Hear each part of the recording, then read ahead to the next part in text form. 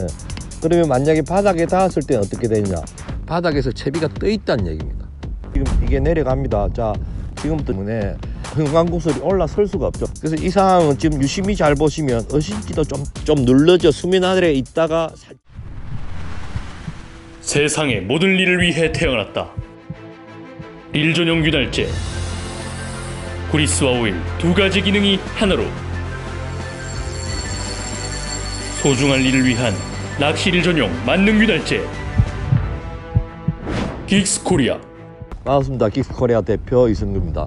오늘 지금 제가 서 있는 곳은 거제도에 있는 다대항입니다. 오늘 저희가 온 이유는 여러분들께서 요즘 현강구슬에 대해서 질문이 워낙 많으셔서 현장에서 상황별 현강구슬의 그 변화나 또 지의 변화 그런 거에 대해서 수심 체크를 하는 거에 대해서 정확히 알려드리려고 저희가 찾아왔습니다. 감성돔은 뱅에돔이나 참돔이나 일반 다른 고개와는 달라서 바닥층에 주로 활동을 하고 있는 그런 저수층 어종이기 때문에 이게 수심이 잘 안 맞으면 입질을 받기가 상당히 어렵습니다. 그래서 어느 만큼 수심을 잘 맞추느냐 따라서 입질을 받을 수 있느냐 없느냐 그런 게 결정되는 상황이 많습니다. 그래서 지금은 제가 반유동 채비를 했습니다. 반유동 채비를 했는데 채비가 조금 세게 되어 있습니다. 제가 채비를 한건 3호찌입니다. 3호찌인데 이 채비에 간략하게 설명을 드리면 기본 반유동 채비 그대로입니다. 면사 매듭이 있고 형광구슬이 있고 그 다음에 어신지가 3호가 있고 수정 쿠션 있고 순광 수정이 있고 그 다음에 밑에 또 오이형 고무하고 이렇게 다 되어 있습니다. 일반 반유동 채비하고 똑같습니다. 다른 거 한 가지는 항상 말씀드리듯이 이 위에 반응 구슬이나 작은 구슬이 아니고 형광구슬을 지금 시인성이 좋은 형광구슬을 끼웠다는 겁니다. 그래서 이 차이로 인해서 왜 끼우느냐 바닥에 닿았을 때 그리고 바닥에 안 닿았을 때 변화를 알려주기 때문에 일부러 이 형광구슬을 끼우는 겁니다. 미리 말씀을 드리면 채비가 내려가서 밑채비가 바닥에 닿으면 형광구슬이 떨어지게 됩니다. 그러니까 어신지 위에 이렇게 올라가 있지 않다는 얘기죠. 예. 그러면 만약에 바닥에 닿았을 때는 어떻게 되느냐? 이게 밑에서 당기는 힘이 상쇄돼 버리고 없어져 버리기 때문에 이렇게 옆으로 떨어져 버립니다.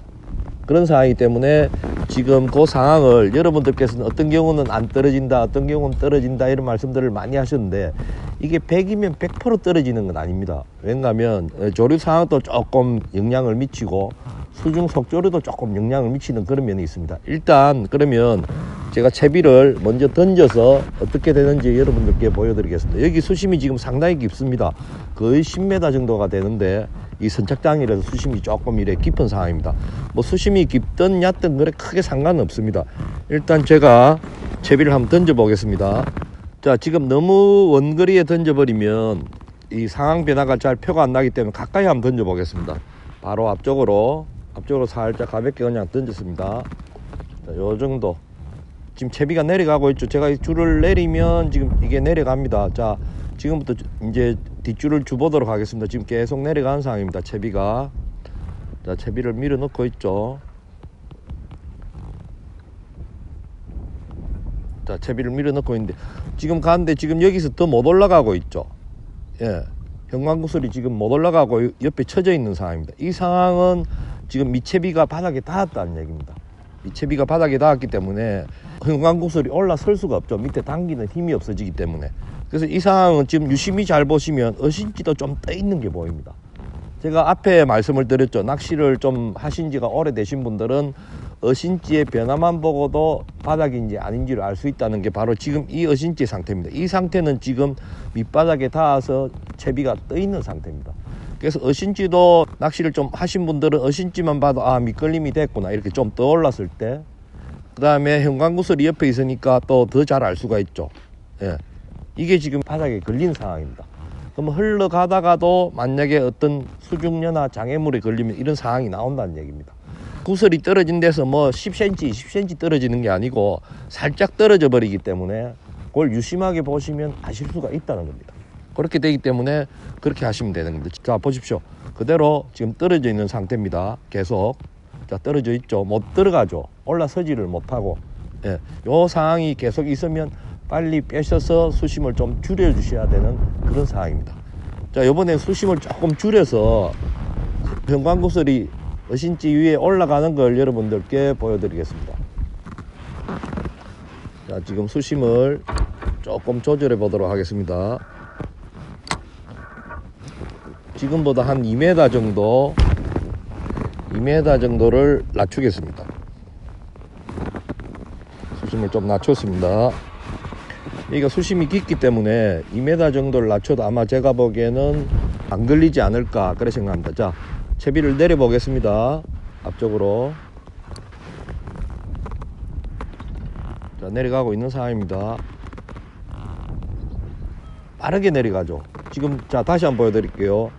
매듭이 저기에 있는데 매듭이 제가 원줄을 놓는 순간에 바로 들어가 가지고 그 형광구슬이 바로 위에 얹혀버립니다. 그러면서 어신지도 좀 눌러지죠.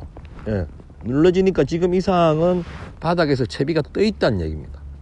그래서 이런 식으로 지금 다시 해도 똑같습니다. 상황은. 자, 그대로 해도 그대로 탁 올라서 버리죠. 예. 이건 지금 채비가 바닥에서 좀 떠 있기 때문에 수심을 좀 더 줘야 된다는 얘기입니다. 그런 상황이기 때문에 여러분들이 이렇게 판단을 하셔야 되고 어, 일단 그렇게 파악을 하시면 됩니다. 예, 많은 분들이 이 형광구슬을 말씀을 드리니까 이게 바닥에서 물 속에서 안 보이다 보니까 바늘이 걸린 건지 뽕돌이 걸린 건지 수중지가 걸린 건지 그런 질문을 많이 하십니다. 이게 이제 상황에 따라서 뽕돌이 걸릴 수도 있고 수중지가 걸릴 수도 있습니다. 근데 이제 채비를 흘리다 보면 본인이 파악할 수 있는 게 지금 현장 지금 상황에 지금 어신지하고 지금 형광구슬하고 지금 떨어져 있는 상황입니다. 떨어져 있는 상황인데 지금 이런 경우에 살짝 당겨 보면 살짝 걸림이 느껴지면서 조금 이상이 이 무게감이 좀 더해지는 그런 경우가 있습니다. 그런 경우에는 바늘에 뭐가 걸려서 올라오는 경우도 많습니다. 지금 한번 올려볼게요. 자, 수초가 하나 걸려 올라오죠. 수초가 이렇게 걸려 올라왔습니다. 이런 경우도 있고 또 어떤 경우는 아주 작은 조개 껍질이 걸려오는 경우가 있습니다.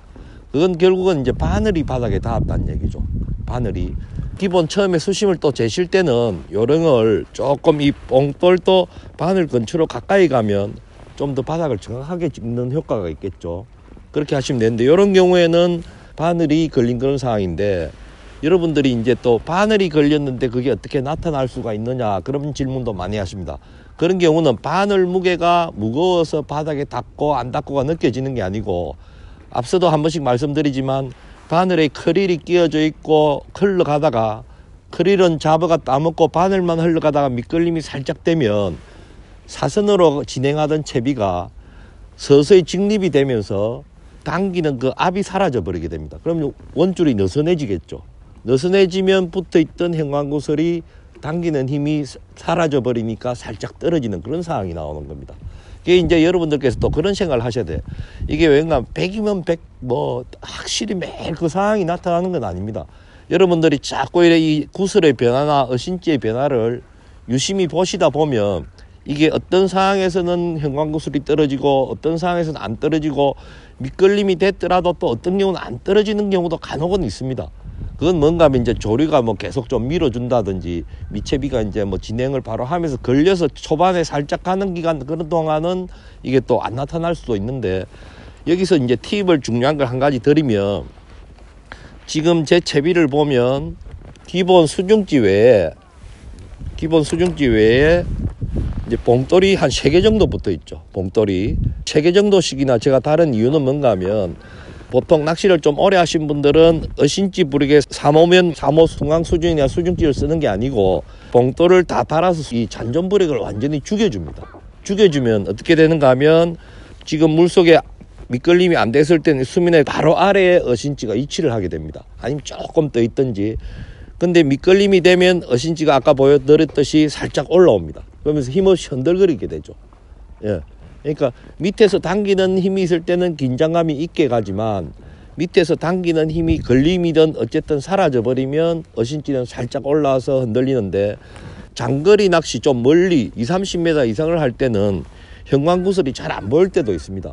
그럴 때는 제가 말씀드렸듯이 두 개, 세 개를 끼우셔도 이 형광구슬 자체가 그래 부력이 없기 때문에 두 개, 세 개를 다셔도 상관없습니다.